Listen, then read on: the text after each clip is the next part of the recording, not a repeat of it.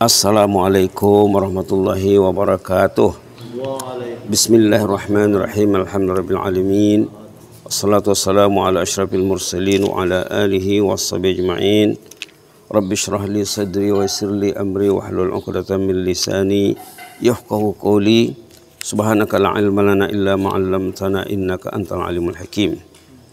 Alhamdulillah.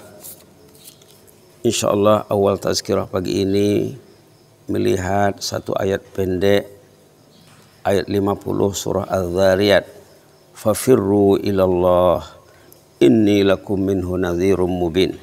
Surah Az-Zariyat halaman 522 522 fafirru ilallah fafirru kalau asal maknanya berlari berlari. Fafirru ilallah berlarilah menuju Allah. Kalau dalam surah lain Ayat lain, fastabiqul khairat, berlomba merebut kebaikan. Kalau di sini berlari, artinya jangan berlengah-lengah. Fafirru ilallah, berlarilah mencari ridha Allah. Bukan makna berlari ya, artinya bersegera. Artinya jangan berlambat-lambat, jangan berlengah-lengah. Fafirru ilallah, inni lakum minhu nadhirum mubin. Berlarilah untuk mencari keridhaan Allah inni lakum minhu nadhirum mubin. Saya ini kata Rasulullah nadhir pemberi peringatan pemberi warning yang jelas yang terang. Hmm. kita kemarin berbicara tentang kisah di zaman Umar bin Khattab. Untuk mendekatkan diri kita kepada Allah kita perlu tahu cerita. Di samping mengetahui Al-Quran mengetahui hadis mengetahui hikmah, mengetahui, kisah. Karena melalui kisah itu kita mudah mendengar, mudah menerima. Kalau kita bacakan Quran, kita terangkan Quran mungkin susah terserap, susah masuk di hati. Baca hadis juga ada kalanya begitu ya. Tapi kalau melalui cerita senang. Cerita apa? Cerita orang yang dipengaruhi setan iblis. Manusia ini mayoritas mereka dipengaruhi setan iblis. Kalau setan iblis tidak bekerja malam, pagi orang ke masjid, tapi malam iblis bekerja bekerja keras supaya orang jangan ke masjid. Apa langkah-langkah yang dibuat iblis antara lain disebut dalam hadis sahih ya. Dalam hadis sahih dikatakan iblis membawa tali mengikat setiap orang, setiap orang mukmin. Kalau tak mukmin itu tak dikira lah ya. Datang iblis membuat tali diikat leher sebelah atas ini ha. Tiga ikatan. Dicokeknya ha dengan tali. Subhanallah. Itu tidak berkutik manusia. Kecuali orang yang terselamat. Ha. Diikat. Subhanallah. Kita karena belajar ya. Kita belajar hadis-hadis tentang fiqhun naum. Bab-bab tentang tidur. Kalau tidak kita tidak tahu tidur macam mana. Tidur tidur begitu saja. Padahal tidur itu sebagian besar daripada kehidupan kita. Kalau orang itu tidur 8 jam, ada orang tidur 8 jam ya. Kalau ada orang tidur 8 jam sehari semalam, berarti sepertiga usianya tidur. Kalau umurnya 60 tahun, 20 tahun tidur. Kalau tidurnya diikat iblis, tidurnya kata Buya Munir menganggur. Tidak ada nilai. 20 tahun kosong. Tapi kalau tidurnya berniat ke masjid, subhanallah. Membaca zikir-zikir sebelum tidur, iblis tidak mengikatnya lagi. Dan melakukan langkah-langkah macam mana membuka ikatan iblisnya ada dalam hadis sahih. Tahu dia tidurnya dengan ilmu, membuka ikatan dengan ilmu, ringan langkahnya datang ke masjid. Subhanallah. Mengikat ikatan ini di rumah sebelum ke masjid. Ada tiga step, tiga langkah. Pertama, kita sudah tahu ya. Alhamdulillah. Bangun tidur. Alhamdulillah. Alhamdulillah ahyana ba'da ma amatana wa ilin nusyur. Alhamdulillah alamin. Ingat yang tidur itu nikmat, ingat yang bangun itu nikmat. Terbuka satu ikatan. Yang kedua, cepat-cepat pergi beruduk. Berwuduk dengan segera. Jangan berlengah-lengah, jangan melakukan perbuatan lain dulu. Uduk dulu. Kalau yang mandi mandilah ya. Nah, ataupun nanti mandi. Sekarang uduk dulu. Cara kedua membuka ikatan. Yang ketiga, sholat ringkas dua rakaat. Mungkin dibaca kuliah rakaat pertama, kulawat rakaat kedua. Dah selesai yang tiga itu, insya Allah. Kalau dia pergi ke masjid, tidak diikat lagi. Tapi kalau yang langkah yang tiga ini tidak dibuat di rumah sebelum ke masjid, ke masjid masih diikat. Nah, jadi nilainya prestasinya rendah. Subhanallah. Subhanallah. Jadi di zaman Umar bin Khattab radhiyallahu anhu ada orang yang kehidupannya memang 24 jam, boleh katakan 24 jam dengan iblis. Dulu orangnya taat, orangnya saleh, tiba-tiba datang angin punting beliung, datang gelombang gelombang ujian yang hebat lalu dia lari dari jamaah, tidak lagi kumpul dengan jamaah lagi, sehingga Umar bin Khattab kehilangan. Um, Umar bin Khattab sebagai khalifah bertanya, mana Fulan bin Fulan? Anak muda waktu itu, masih anak muda orang ini. Mana anak muda itu? Kata jemaah, sekarang sudah hilang, tidak nampak lagi. Bahkan hari-hari mabuk. Ini laporannya ya kepada Umar. Khalifah mencari di mana jemaah yang hilang. Itu tugas khalifah, tugas ketua negara. Orang nak ke masjid nanti pemimpin akan ditanya. Pemimpin ke masjid enggak? Pemimpin follow up enggak? Pemimpin ini urusannya dunia akhirat bukan dunia saja. Pemimpin dalam Islam mengurus dunia akhirat. Surga neraka orang itu di tangan pemimpin. Maka Umar bertanya, Aina fulan bin fulan? Mana orang ini? Kata jemaah, lah hilang. Kok hilang nak dicarinya khalifah? Lah hanyutnya jemaah. Kok hanyut nak dipintai jangan dibiar hanyut. Orang tak kemencet itu hanyut itu. Orang tak kemencet itu hilang tuh. La ilaha illallah. La ilaha illallah. Lalu kata Umar, oke lah, ndak apalah. Sekarang kita jangan membicarakannya lagi, kita doakan dia. Kemudian Umar menulis memo, surat Pendek saja. Tiga ayat pertama surah Ghafir kemarin sudah dibilang ya. Ini ayat penerang hati. Ayat syifa kata ulama. Kemarin sudah disebut tak tahulah jemaah balik ke rumah ada baca Quran atau tidak. Kalau tidak berarti galeh tidak di Bali itu. Hmm. Awal memang galeh tapi tidak di Bali orang galeh awal dong. Hmm. Tidak dia gorang dong.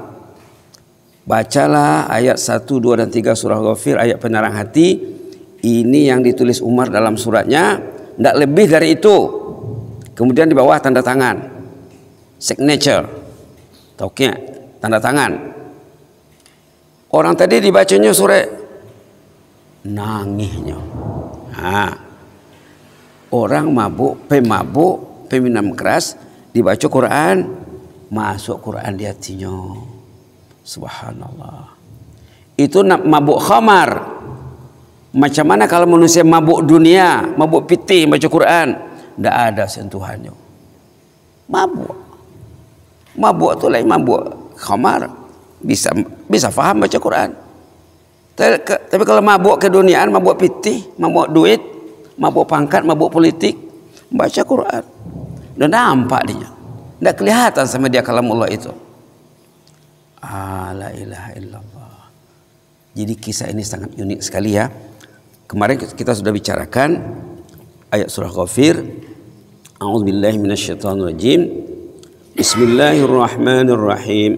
Halaman 467. Kalau buka pulang ke rumah nanti 467 Subhanallah. Dua baris lebih sedikit saja. Tiga ayat tapi barisnya dua baris lebih sedikit itu pun termasuk Hamim satu ayat. Hamim. Bismillahirrahmanirrahim. Hamim. Tanzilul kitab min Allahil azizil alim. غافر الذنب وقابل التوب الشديد العقاب ذي الطول لا إله إلا هو maaf ya لا إله إلا هو إليه المصير غافر الذنب وقابل التوب شديد العقاب ذي الطول لا إله إلا هو إليه المصير dua baris lebih sedikit tidak mungkin tidak hafal tidak mungkin tidak masuk di hati kalau tidak masuk di hati menangis lah ya Allah pemabuk saja baca Quran ini masuk di hatinya Allah saya ini tidak masuk di hati saya Allah apalah saya ini Allah? Berarti saya, saya lebih jahat lagi daripada pemabuk minuman keras pemabuk khamar. Saya ini mabuk ini ya Allah. Saya ini mabuk dunia ini ya Allah. Aha. hati saya ini membatu ini ya Allah. Kita kena bermunajat kepada Allah macam itu. Tidak cukup Rabbi gfirli wali walidai Allah maghfir lana warham tidak cukup. Hmm. Hamim sama dengan alif lam mim. Sudah kira satu ayat ya. Hamim. Allah yang tahu maksudnya. Sahabat Nabi pun tidak tanya sama Nabi apa maksud Hamim. Tanzilul kitab minallahil azizil alim. Kitab ini kitab Quran ini diturunkan dari sisi Allah Al-Aziz yang gagah perkasa. Al-Alim yang tahu seluk beluk sadonyo. Jadi jangan main-main. Kitab kok yang diturunkan oleh Al-Aziz Tuhan yang maha gagah perkasa. Al-Alim Tuhan yang maha tahu. Tahu dia apa keperluan kita. Tahu dia penyakit manusia. Tahu dia penyakit umat. Penyakit masyarakat. Allah tahu karena jasmani dan rohaninya dikuasai Allah. Allah tahu. Inilah penyelesaiannya, inilah obatnya. Inilah jalan keluarnya. Ambillah. Nah. Ghafiriz zambi. Nomor satu. Sifat Allah di sini. Di sini ada beberapa sifat Allah yang perlu masuk di hati kita. Ghafiriz zambi. Menghapuskan dosa. Oh banyak dosaku ya Allah. Anta ghafiruz zambi. Engkau penghapus dosa ya Allah. Qabilit taubi, penerima tobat. Aku tobat kepadamu ya Allah. Aku kembali kepadamu ya Allah. Selama ini aku hilang, selama ini aku sesat, hilang tidak ada mencari. Hanyut tidak ada meminta saya hanyut selama ini Allah tidak ada meminta saya ya Allah. Bahkan ramai manusia yang hanyut tidak ada yang memintihnya. Ramai manusia yang hilang tidak ada mencarinya. Masing-masing Subhanallah. Masing-masing tidak tahu masalahnya. Masing-masing tidak tahu macam mana ingin curhat. Ingin meluahkan keluhannya. Tidak ada tempat mengeluh. Itu beratnya ya. Itu beratnya kita ini. Pintu tobat tidak terbuka karena tidak ada yang membukanya. Tidak ada yang memperlihatkan pintu tobat itu macam mana. Subhanallah. Qabilit taub. Penerima tobat. Syadidil iqab kejam azabnya la ilah ini masjid yang lengang ini kejam ini ini azab Quran yang tidak dipegang yang tidak dibaca itu azab sama orang itu masjid yang tidak didatangi azab sama orang yang berhampiran dengan masjid. Azab itu bukan gempa saja bukan tsunami saja. Azabnya terjauh hati dari Allah terjauh hati dari kitabullah terjauh dari rumah Allah. Seorang tidak ada yang baca Quran di rumah itu itu azab. Seorang saja tidak ada yang membuka Quran di rumah itu penduduk itu diazab. Dalam hadis dikatakan rumah yang anda ada zikir yang ada sembahyang sunat di dalam rumahnya kubur bacalah di sekolah di sekolah orang yang tidak berzikir itu mati bangkainya lihat di sekolah hadis sahih la ilaha illallah jadi penghuni rumah itu diazab karena jauh dari masjid, karena jauh dari Al-Quran. Syadidil iqab. Azabnya kejam. Enak di azab itu. Enak yang jauh dari masjid itu. Itu kejam tuh. Enak yang tidak pegang Quran. Kalau Quran tidak dipegang, dipegangnya lain. Ah ini azab. Azab itu bukan bencana alam saja. Bencana rohani krisis iman. La ilaha illallah. La ilaha illallah. La ilaha illallah. Syadidil iqab. Kejam siksaannya. Ini yang dibaca oleh pemabuk tadi. Zittul. Luas rahmatnya. Rahmat Allah luas nak bertepi. Oh, rahmatilah aku ya Allah. Aku selama ini mabuk ya Allah. Aku lari dari jemaah. Aku ingin kembali kepadamu ya Allah. Apalagi khalifah mengirim surat sama aku ya Allah. La ilaha illahu tiada ilah selain Allah. La ilaha illahu tiada ilah. Ini sama dengan la ilaha illallah. La ilaha illallah. La ilaha illallah. La ilaha illallah itu perlu dipelajari. Kalau la ilaha masuk dalam hati, bertempat di hatinya, subhanallah. Tidak mungkin di rumah waktu azan yang memanggil itu Allahu Akbar. Allahu Akbar, Allahu Akbar dua kali. Allahu Akbar, Allahu Akbar empat kali. Yang memanggil itu asyhadu an la ilaha illallah dua kali.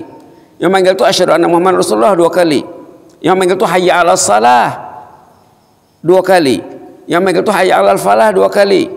Kalau subuh tambah lagi dengan as-salatu khairu minan naum. Tutup lagi dengan Allah Allahu Akbar tadi dah empat di awal, tambah tambahlah enam kali Allahu Akbar. Diakhiri dengan La ilaha illallah. La ilaha illallah. Tapi tidak masuk di telinga. Krisis yang berat. Panggilan azan tidak didengar telinga kepala. Satu. Ada yang mendengar dengan telinga kepalanya, telinga hatinya tidak dengar. Ada yang dua-dua tidak dengar. Telinga kepalanya tidak peduli. Telinga hatinya apalagi lah. Subhanallah. La ilaha illahu ilaihil masir. Ingat. Ini macam menakutkan. Ilaihil masir. Semua kamu akan kembali kepada Allah. Ah nanti dah kembali kepada Allah. Ah beretonglah sini nanti. Ah ada ayat dalam surah Al-Ghasyiyah katanya inna ilaina iyabahum summa inna alaina hisabahum. Semua mereka akan kembali kepada kami kata Allah. Summa inna alaina hisabahum. Nanti beretonglah di sini ah beretong dia tong sadonyo. Ah, itu gunanya kita membaca sejarah mengenal sejarah apalagi sejarah gemilang Umar bin Khattab bersama rakyat yang bermasalah. Macam mana pemimpin mengatasi masalah rakyat?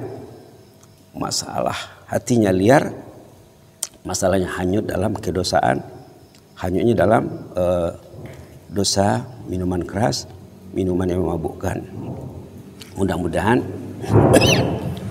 baca ayat ini nanti ya, baca ayat ini ya Allah sebagaimana Umar berhasil menanggulangi menangani masalah masyarakat di zamannya. Masyarakat hamba Allah yang mabuk. Kembali ke jalanmu ya Allah. Maka tunjukkanlah saya jalan kembali kepadamu ya Allah. Saya ini mabuk ya Allah. Mabuk saya bukan mabuk alkohol ya Allah. Bukan mabuk mabuk arak ya Allah. Mabuk saya mabuk keduniaan. Mabuk kesyahwatan mabuk yang lain-lain ya Allah lebih kejam daripada mabuknya si pemabuknya zaman Umar ternyata saya baca kalam ini belum bertempat di hatiku ya Allah uruslah hatiku ya Allah jagalah hatiku ya Allah Tambah dengan doa-doa yang lain Rabbana la tuzigh qulubana ba'da idh hadaitana wa hab lana min ladunka rahmatan innaka antal wahhab. Tambah dengan doa Allahumma nas'aluka qalban salima. Allahumma inna nas'aluka qalban salima. Ya Allah kami minta kepadamu qalbun salim ya Allah. Qalbun salim, hati yang bersih dari kekotoran, hati yang bersih dari penyakit, hati yang bersih daripada kekusutan hidup. Ah, mudah-mudahan bermanfaat ya. Jazakumullah khairan barakallahu fikum. اللهم زدنا ولا تنقصنا واكرمنا ولا تهنا واعطنا ولا تحرمنا واثرنا ولا تؤثر علينا وارضنا وارضعنا يا حي قيوم رحمتك نستغيث اصلح لنا شاننا كله ولا تكلنا الى انفسنا طرفه عين يا اكرم الاكرمين لا إله إلا أنت. سبحان ربك رب العزة عما يصفون وسلام على المرسلين. والحمد لله العالمين. والسلام عليكم ورحمة الله وبركاته.